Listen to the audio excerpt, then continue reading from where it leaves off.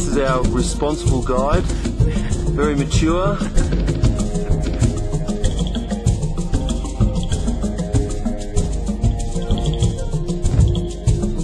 Alright, so where we're going to be going now is to see the ridge behind me. There's a black zigzag band going straight up. We're going to follow that one, and then we're going to go to the right, and then we're going to camp right underneath the glacier.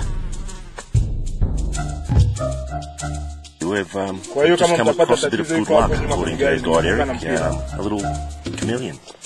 Kazi njema kaka. Probably about that long. It's supposed to be very good luck when you're trekking.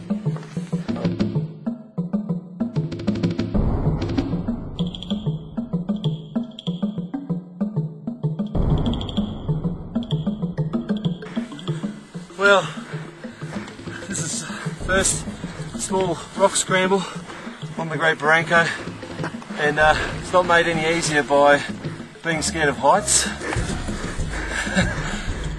anyway.